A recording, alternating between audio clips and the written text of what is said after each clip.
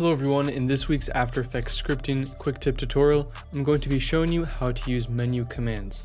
Now these are commands that you can search for in any version of After Effects by using a simple function, and these will allow you to run anything that you can see on the contextual menus in After Effects.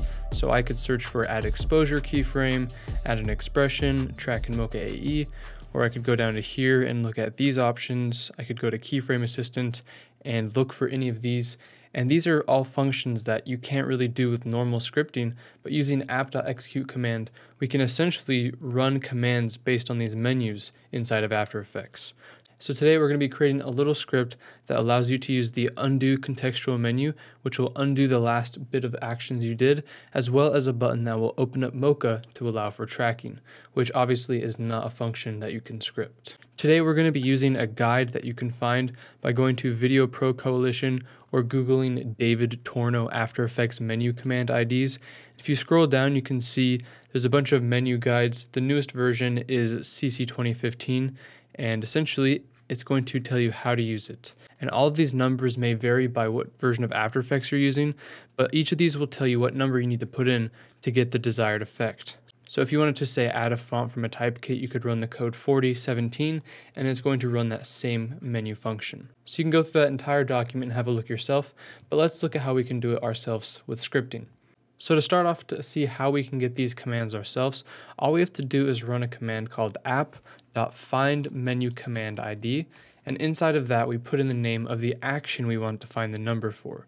So if I just pick a random one, let's say if I want to know the thing for, let's say I want to know the shortcut for open in essential graphics. So if I type exactly what this says right here, and I'm going to double check that the case is correct, it needs to be a lowercase i. If I run this, it's going to give me the code 10425.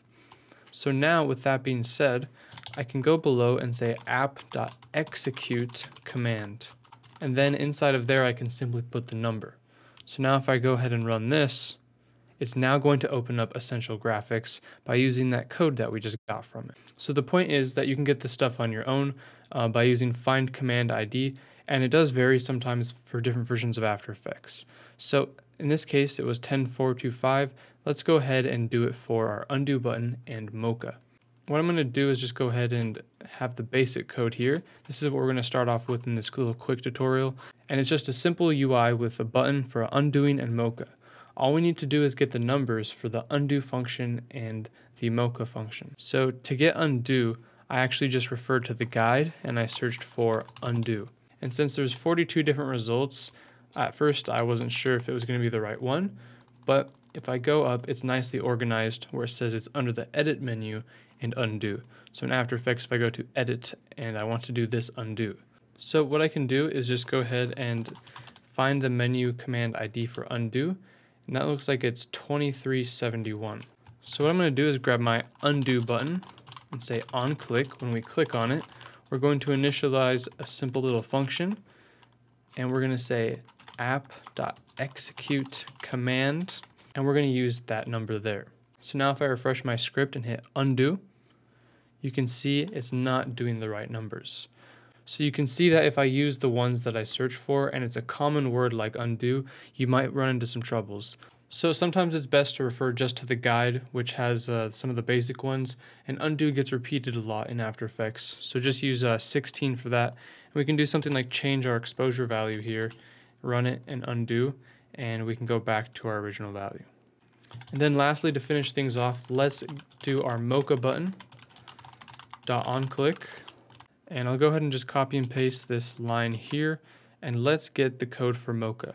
The text is track in Mocha AE. So if I say track in Mocha AE and I run it, I'm gonna get the number 5008. So let's go ahead and paste that into our Mocha button. If I run it and hit Mocha, now we're going to go ahead and load up Mocha just as we wanted. Alright, so that's going to do it for this video, guys. I hope you enjoyed. That's how to find menu command IDs and use the menu command ID to do a lot of functions in After Effects that aren't built into scripting itself. So I hope you enjoyed. Be sure to leave the thumbs up, subscribe for more videos, and we'll see you guys next time.